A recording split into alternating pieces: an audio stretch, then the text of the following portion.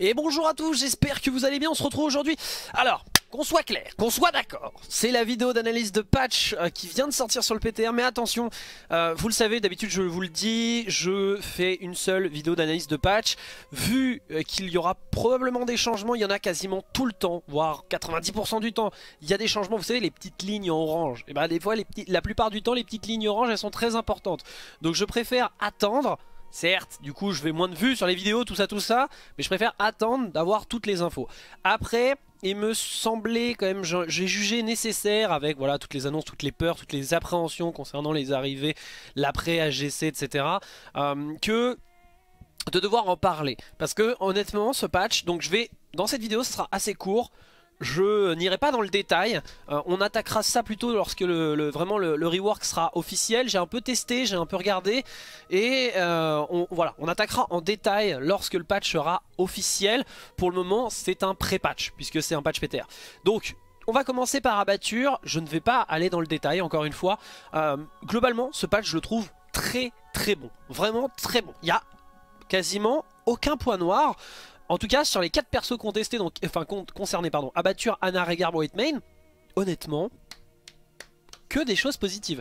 Abatture, du coup, dans les grandes lignes, qu'est-ce que... Alors, évidemment, si vous regardez cette vidéo, ça veut dire que vous regarderez, bien sûr, celle qui sera plus détaillée, bien entendu. Ce n'est pas pour but, euh, je pense que vous connaissez suffisamment la chaîne maintenant pour savoir que euh, l'idée, c'est aussi d'aller plus loin dans l'analyse. Euh, mais en l'occurrence... Abatture, donc qu'est-ce que ça va euh, changer sur Abatture? Ce ne sont pas, pour Abatture et Anna, ce ne sont pas des reworks ultra euh, en détail, etc. Ce qui d'ailleurs, à mon avis, pourrait euh, faire grincer des dents des mauvaises langues, parce qu'on pourrait se dire ça va être un énorme rework avec plein de trucs. Non, et j'en suis, j'en suis reconnaissant à l'égard de Blizzard, parce que par exemple Sylvanas, le dernier gros rework qui a, qui eu lieu, Stitches, qui n'étaient pas forcément des personnages qui avaient besoin de rework. Sylvanas, il y avait une demande de rework, mais pas un rework complètement où on change tout. Pour moi, Sylvanas, il aurait fallu un rework light, un truc, on garde la, Sylvanas d'avant, on change 2-3 petits trucs, le nouveau mind control, euh, un petit arbre de talent peut-être un petit peu mis à jour, etc. Mais pas tout de fond en comble. Et euh, je suis désolé, euh, mais à l'heure actuelle, la nouvelle Sylvanas, moi, elle me laisse complètement indifférent, elle est insipide. Alors peut-être que vous l'appréciez, hein, vous faites peut-être partie, mais j'ai quand même vu beaucoup de monde euh, ne pas trop apprécier la nouvelle. Après, très souvent dans les critiques, il y a aussi le côté nouveauté, donc on avait l'habitude de l'ancienne, on n'aime pas trop la nouveauté, je le prends en compte. Hein. Euh, mais vraiment, enfin, le gameplay est insipide, je trouve, de la nouvelle style. Et du coup, ok, bah, il y a eu un gros rework de fond, mais pourquoi en fait? Pour pas grand chose. Donc je préfère un petit rework, mais avec des choses très pertinentes, et c'est ce qui a eu lieu sur Abatture et Anna. Abatture, donc qu'est-ce que ça va changer concrètement? Abatture, on va le problème c'est que le build carapace avait commencé à... Parce que vraiment Abatture, tout l'arbre de talent était intéressant, il y a plein de choses. Le souci c'est que le, build carapace avait vraiment pris le, dessus. Enfin, limite maintenant, moi je voyais une game, je voyais un Abatture qui jouait pas carapace, j'étais presque commencé déjà à moitié, pas être énervé, mais en me disant, lui il a pas compris en fait. Parce que le build carapace offrait trop de choses. Vraiment, c'était super intéressant. Donc, ils ont préféré mettre en baseline, donc dès le niveau 0, en fait, Abatture va pouvoir soigner avec sa carapace maintenant. Et ça, c'est super intéressant. Donc, il y aura toujours un build carapace, mais vraiment, dans l'idée du build carapace, un truc vraiment orienté autour de la carapace pour offrir plein d'avantages. Mais le soin de la carapace sera accessible à toutes les spées d'abatture. Et ça, je trouve ça très bon parce que l'aspect euh, hybride... Parce que je rappelle qu'à la base, il y avait un build mine, un build push un build symbiote et un build carapace. Maintenant le build symbiote soignera, le build push soignera aussi et du coup tu perds t'as pu. Enfin, on est bien dans un abatture off support. Et ça, j'aime bien l'idée. J'aime bien l'idée. Alors, évidemment, parce que abatture... Euh, d'ailleurs, ils le disent dans l'infobule, le problème, c'est qu'abatture, très fort à haut niveau, sinon très faible sur les autres niveaux. Et du coup, qu'est-ce qui a été fait pour abatture Eh bien, en gros, on va améliorer son... On va renforcer cette position. Mais par contre, à très haut niveau... Donc, ça reste quand même un up à, très haut niveau, hein, bien sûr. Mais malgré tout, si on veut vraiment profiter du push d'abatture, pareil, les petits nuisibles qui va poser au sol vont durer moins longtemps mais seront plus forts, ce qui va inciter les abattures à plus body soak, donc récupérer l'expérience avec leur corps. Je vous laisse aller voir le guide abatture. Et d'ailleurs, il va être obsolète. mais du coup, abatture euh, devra prendre plus de risques s'il veut push plus en fait. Donc, on enlève un peu le côté cancer du build push d'abatture euh, tout en offrant la possibilité de pouvoir un peu plus push et avoir plus d'impact direct sur abatture et offrir plus de counterplay aux adversaires puisque abatture devra prendre plus de risques pour avoir plus d'impact au niveau macro, au niveau de la carte. Tout le monde joue bot, abatture est top. il peut push tranquille. Maintenant il pushera très très fort mais il faudra qu'il prenne plus de risques. Du coup, bah, par exemple, s'il y a un global ou autre, eh ben, il pourra plus facilement le débusquer. Donc j'aime bien, euh, j'aime bien l'idée de la, prise de risque sur abatture. Après, dans les faits, est-ce que ça arrivera euh, à, ce niveau-là? Peut-être pas. Mais si vous mettez un abatture très loin, bah, vos, nuisibles, ils n'auront pas d'impact en fait, parce qu'ils soit, ils seront détruits très vite, euh, soit ils n'auront même pas le temps d'arriver en lane. Donc j'aime bien l'idée, j'aime bien l'idée. J'aime bien cette idée là. Euh, en l'occurrence, donc pour Abba, on y reviendra plus en détail, mais voilà, globalement j'aime bien ce qu'ils ont fait. Il euh, y a juste un truc que j'aime pas, c'est le niveau 20, mais on y reviendra sur, euh, sur, un, sur, un, sur une autre, enfin sur la vidéo plus longue. Anna, Anna, rework un petit peu l'image d'abatture pas un rework complet, fond en comble, etc. Ils se sont dit non, Anna elle est très bien comme elle est, mais il y a des petites incohérences avec des talents trop forts, notamment le niveau 1 sur Anna euh, qui concerne le E, hein, la quête sur le E1, c'est juste trop fort, c'est trop important dans le kit d'Anna. Et eh bien du coup ils l'ont mis baseline, mais en changeant des petits trucs, euh, ils ont réduit les valeurs forcément des soins du A, pour contrebalancer ça avec une nouvelle fonctionnalité qui était à la base un talent, le D justement qui augmentait la portée d'auto-attaque, un truc très intéressant, on y reviendra aussi dans la vidéo plus détaillée mais c'est un truc de développeur ça. Euh, Anna c'est quoi? C'est un sniper, ok bah on va sniper, faire des dégâts machin, mais non parce que c'est un sniper support, donc l'idée c'est de taper de très loin pour pouvoir soigner ses alliés.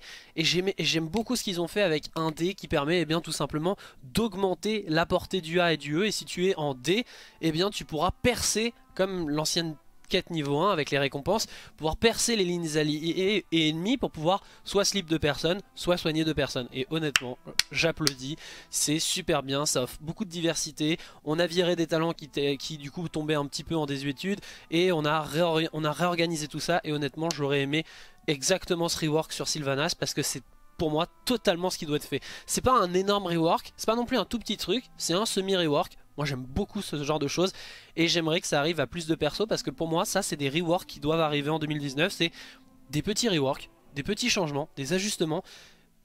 Pas un truc où on change tout. Alors c'est bien des trucs où on change tout, c'est ce que je demande pour Hammer, pour Diva, etc.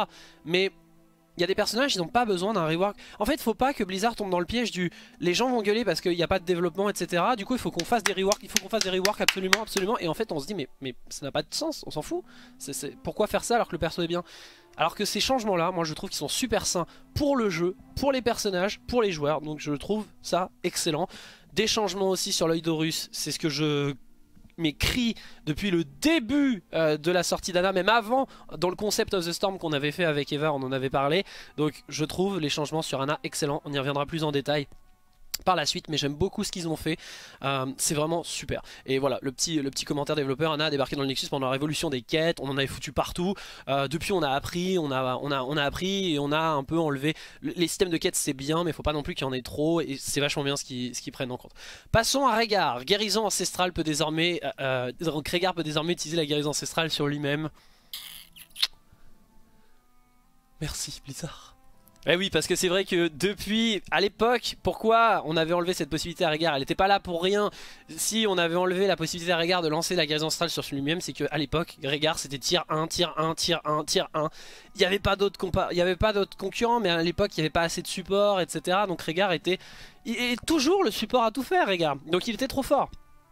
Depuis, il y a eu énormément de concurrence, des hubs de support, euh, l'arrivée de nouveaux supports plus spécialisés qui peuvent euh, mettre à mal Régard dans une, dans, méta typique, etc. Il y a eu un moment Uther, Whitemane, etc. Du coup, Régard eh bien, euh, a souffert, même s'il est jamais tombé au rang de mauvais support, mais il était moyen en fait. Il était moyen. C'était le typical support tier 2, tier 3 en fait. en fonction des méta, ça variait, mais c'était tier 2 toujours un peu quoi. Moi, j'avais tendance à le mettre quand même tier 1, mais tier, enfin c'est un tier 2 quoi. C'est bon mais pas non plus trop fort et bon un peu partout. Donc c'est vrai que c'est presque la définition du tier 2, euh, en, moins, en moins, moins ultra pété. Et du coup, eh bien, on redonne la possibilité à Régard de se lancer la guérison ancestrale sur lui-même. Je trouve ça très intéressant parce que quand vous êtes euh, contre un... Euh, enfin, il y a des moments en fait où ça, ça, crée une... Moi, je, joue beaucoup Régard et c'est vrai que enfin c'est un de mes seuls supports avec Morales euh, que, j'adore. Et, c'est vrai que Régard bah, quand tu te faisais euh, quand tu te faisais euh, go in t'avais ok le bouclier de terre etc mais il y a un moment donné en fait où t'allais mourir et donc tu claquais l'IH sur le mec qui avait le moins de PV, qui avait perdu un peu de PV mais pas tant que ça parce que de toute façon t'allais mourir en late game et du coup autant lancer l'IH pour essayer de soigner un mec pour qu'il ait une force dans le teamfight alors que la guérison ancestrale elle a pris des nerfs en termes de enfin de, de, soins. Et du coup je trouve que c'est super intéressant. Et d'un autre côté on pourrait dire bah oui mais en plus ça va permettre à Régard d'être plus agressif si t'as envie d'être plus agressif avec Régard tu joues Bloodlust. Donc les deux ultimes restent très forts. Euh, je pense qu'on arrive à un bon terme. Après, ça va rendre très fort Régard. Hein. Ça va de nouveau le rendre très fort parce que l'un des points faibles de Régard, c'était le fait de ne pas pouvoir facilement le go-in. N'oublions pas que Régard, il est très tanky quand même. C'est l'un des supports les plus tanky du jeu. Donc, euh, c'est le support qui fait le plus de dégâts aussi au corps à corps. Donc, c'est très bien. Hein. C'est très très bien. Mais moi, je trouve que c'est un énorme point fort et ça va complètement ramener Régard sur le devant de la scène. N'oublions pas qu'il a une purif. Il a énormément. Il, a, il est très très fort, Régard. Il a tout. Et, ça c'était un énorme point fait parce qu'il était très vulnérable au Goin. Maintenant eh bien il aura une arme pour euh, lui-même. Après faut pas oublier que maintenant il y a aussi beaucoup d'anti-heal qui sont revenus donc c'est pas un, énorme. C'est pas si grave que ça. Donc moi j'aime beaucoup, euh, j'aime beaucoup ce changement et je pense que même si ça semble être très fort, peut-être même sur le papier trop fort, euh, n'oublions pas qu'on a instauré aussi beaucoup plus de counterplay avec notamment les anti-heal. Donc ça, Régard souffre énormément des Antilles pour la guerre ancestrale. Pour contre des Antilles, il faut limite mieux partir euh, Bloodlust, hein, honnêtement, sur Régard. Euh, Whitemane, un changement aussi très très sain pour le jeu. Alors, évidemment, avec le rework Anna, on y reviendra sur, euh, sur on y viendra la semaine, la semaine prochaine hein, avec l'analyse plus détaillée. Mais Anna, on va encore renforcer un peu son Antille, ce qui peut faire peur. Whitemane, tout le monde a considéré que le personnage était OP à la sortie. si j'avais su, j'aurais fait une vidéo à l'époque. j'aurais fait une vidéo à l'époque. Peut-être que j'en ferai une, euh, un petit peu à l'image de celle que j'ai faite sur Melganis, parce que pour moi, Whiteman, ça part vraiment d'une incompréhension des joueurs euh, et d'une frustration des joueurs. C'est-à-dire que quand tu, quand go in sur un mec et que Whiteman le tient, bah t'as ce côté frustrant en mode on a tout mis sur elle, on a tout mis sur la cible et elle n'est pas morte parce que Whiteman a appuyé sur ses touches. C'est un peu triste quand même. Mais en fait, Whiteman, il y a énormément de counters et du coup, Whitemane, euh, notamment les Antilles, hein, c'est pour ça que je parle d'Anna, euh, mais il n'y a pas que ça, il y a les dégâts de zone, il y a, plein de choses qui embêtent Whitemane, elle n'a pas d'escape, elle est fragile, enfin il y a énormément de, faiblesses, mais elle a des énormes points forts. C'est vraiment le personnage avec euh, d'énormes points forts, d'énormes points faibles. Mais le truc c'est que bah, les haters vont dire, vont voir que c'est points forts. Et les haters de Whitemane vont voir que c'est points faibles. Et il faut vraiment comprendre que justement, contrairement à Régard, Whitemane c'est le support ultra spécialisé, ultra forte dans des, dans, dans des, dans des conditions. Et Whitemane, un gros problème qui était arrivé avec Whitemane, alors c'est vrai qu'on pourrait voir peut-être un petit ajustement pour la up aussi Whitemane, parce que c'est vrai que Whitemane, euh, elle, va, elle va prendre cher là-dessus, mais la grande inquisitrice, j'en parle très souvent en cast et en stream, c'est ridicule. Ça faisait en sorte que Whitemane, tu ne jouais forcément que Mansuétude au 1, t'es es quasiment obligé de jouer Mansuétude déjà au 1, c'est un autre problème sur Whitemane, mais le l'autre souci c'était la grande inquisitrice au 4 c'était ça n'avait aucun sens. Concrètement ça n'avait aucun sens. Whiteman dans son kit à la base il est prévu qu'elle soit manavore et que la gestion du mana soit très importante. Avec ce niveau 4 il n'y avait pas de gestion de mana en fait avec Whiteman si t'étais home avec Whiteman avec ce niveau 4 soit c'est parce que t'avais vraiment spam Q pour sauver un mec soit c'est que t'étais pas bon en fait parce que il suffisait de lancer tous ces A, d'essayer de tempo les A avec un Z, et tu mets un Z, ça marchait avec la mensuétude en plus, tu balances un Z, c'est bon, t'as pas perdu de mana. Genre c'est pas normal en fait, c'est juste pas normal. Le personnage, tout dans son kit est fait pour que la gestion du mana soit complexe. On fait pas un truc qui ne coûte pas de mana en fait. Donc, en plus de, de, phagocyter les deux autres talents niveau 4 qui sont très bons sur White Main en plus, hein, le problème c'est que celui-là était complètement ridicule. Donc, je l'avais même montré en stream et c'est complètement ridicule. Du coup, un nerf de 75 à 50 points, le talent ne devient pas nul, mais c'est un changement qui était bénéfique et qui était, euh, qui était à la sortie du perso, euh, le, niveau 4 était comme ça. Hein. C'est juste qu'à l'époque, bah, on, préfère avoir un build A qui était très intéressant aussi. Peut-être qu'on verra du coup du build A sur Whiteman. Après, je vous rappelle que le Mansuetude 1 est très forte. En tout cas, je vous laisse aller voir le guide Whiteman, il est toujours à jour là-dessus, il n'y a pas de problème mais c'est un bon changement parce que la grande inquisitrice c'était devenu obligatoire. Donc un changement sain pour le personnage. Après peut-être que dans le prochain patch on aura des petits ups de Whiteman pour donner une compensation. Mais euh, le perso c'est toujours, on va dire que Blizzard avec Whiteman est sur un terrain très glissant parce que d'un côté t'as des posts Reddit, plein de gens qui gueulent sur le fait que Whiteman, pas que Reddit hein, d'ailleurs, plein de gens qui gueulent sur le fait que Whiteman c'est OP parce que bah voilà quand il y a un mec qui s'encastre dessus bah ça marche pas. Euh, et de l'autre côté beaucoup voilà, vont dire bah c'est faible le personnage, elle a ça, elle lui manque ça, lui manque ça, lui manque ça, lui manque ça. Et du coup, d'un côté, ils ont un son de cloche en mode il faudrait peut-être même la up, et d'un autre son de cloche c'est OP Nerve Blizzard Vous voulez que de l'argent et, du coup, bah, ils, doivent, ils doivent cumuler entre les deux. Et c'est pour ça qu'ils y vont à chaque fois par petites touches. Et je trouve que honnêtement, depuis la sortie, ce qu'ils font sur Whitemane, en dehors de la Il y a eu un petit patch qui a voulu la rendre un peu plus... Enfin bon, en dehors de ça, Je trouve que contrairement sur Whiteman, ils y vont par petites touches et ils ont totalement raison. Euh, donc peut-être une petite compensation qui pourrait arriver dans les semaines prochaines, dans les semaines qui arrivent. En attendant, voilà. Petit point aussi sur les skins. Euh, petit point sur les skins avec l'event autour euh, de. C'est une réponse à une vidéo qui date d'il y a 8 mois maintenant, je crois, 6 hein, ou 8 mois. C'était sur l'arrivée des skins reptoïdes. Vous savez, les cobras, les inspirés de G.I. Joe. J'avais fait une vidéo dessus. Il y avait un petit teaser et à la fin on voyait une main et on se posait la question. Beaucoup avaient dit c'est Rodok, tout ça, tout ça.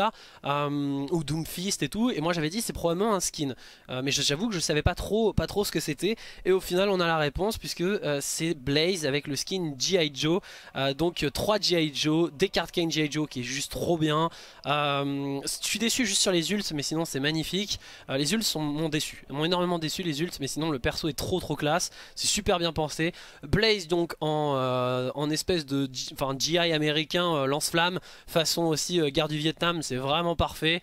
Euh, et avec euh, voilà le, conflit du coup avec G.I. Joe versus euh, Cobra, on va dire, hein, je trouve ça très très bien foutu. Et un John G. Hanzo, le John Rambo, je trouve ça, mais il est parfait, il est parfait avec une magnifique animation, c'est que le symbole du Nexus et tout, enfin vraiment, le, le, même la symbolique avec l'aigle américain qui dans ses serres a le serpent, le duel G.I. Joe avec les Américains face au Cobra, voilà l'organisation Cobra et du coup le serpent qui se fait bouffer par le l'aigle. Enfin c'est juste magnifique, c'est juste magnifique.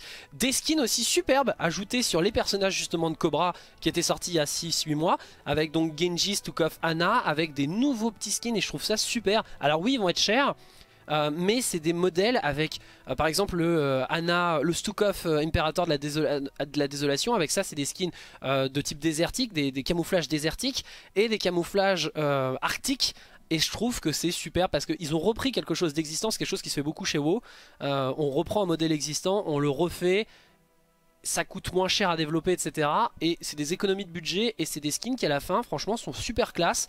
Donc j'aime beaucoup euh, j'aime beaucoup ce qu'ils ont fait et notamment le pyjama turqueur où on prend le pyjama turc classique mais on lui met un petit skin avec euh, voilà les couleurs de la Saint-Valentin et des cœurs qui brillent etc et on reprend un modèle existant on le rend encore plus joli.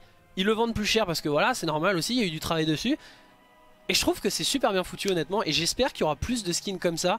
Euh, ça fait un moment que j'en demande mais par exemple c'est con mais euh, un exemple ce serait Greymane. Le Greymane euh, de BFA qu'on a dans la cinématique d'intro, un Greymane avec un, pas besoin de refaire tout un modèle de Greymane parce que par exemple Greymane à faire pour un développeur c'est très compliqué à faire. Parce que bah, il a déjà les animations en humain, les animations en wargun, les changements de forme et tout. Donc c'est très très enfin c'est vraiment très problématique à faire. Ça fait euh, quasiment deux per en fait c'est comme s'il faisait un skin pour deux persos. Pour, quasiment pour Greymane c'est pour ça aussi que Ragnaros ça peut de skin etc et en l'occurrence eh bien par, moi par exemple j'aimerais vraiment avoir un skin Greymane avec un manteau un peu plus bleu. Et euh, quand il passe en wargun il, est, il a sa forme blanche en fait. Comme dans BFA et ça leur coûterait pas grand chose. Là, c'est vraiment on prend un modèle existant et on rechange des petites couleurs. Et moi, j'ai un... ils le vendent cher. Moi, j'ai un skin très bien. Je suis très content. J'espère qu'ils le feront un petit peu plus à l'avenir, ça. En tout cas, voilà. Par contre, je, je trouve la monture dégueulasse. Par contre, le nuage amoureux, il est trop beau. Il est beaucoup trop beau. En tout cas, euh, voilà pour cette euh, petite euh, vidéo PTR. Il y aura l'analyse plus détaillée la semaine prochaine. merci à vous de jouer le jeu et de regarder la vidéo avec en analyse détaillée. Parce que bah, le, problème c'est que je sais qu'il y en a qui vont regarder que cette vidéo et pas aller voir celle détaillée. Alors que bah, celle détaillée c'est le plus important limite. Euh, en tout cas, n'hésitez pas à aller voir les guides, voir les vidéos. J'ai fait une vidéo pour parler des prochains tournois également, etc. Suivez bien l'actu. Euh, et je vous fais plein plein de bisous. D'ailleurs, j'en profite dans cette petite vidéo pour vous l'annoncer. Mais euh, je suis, à partir de maintenant, vous verrez le logo. Vous, vous, verrez pas mal, de, pas mal de choses qui devraient arriver pour la chaîne. Enfin, c'est la chaîne Twitch, mais aussi pour YouTube du coup. donc je vous tiendrai au, au courant. En tout cas, plein de bisous. On se dit à bientôt pour de prochaines vidéos. A plus dans le Nexus.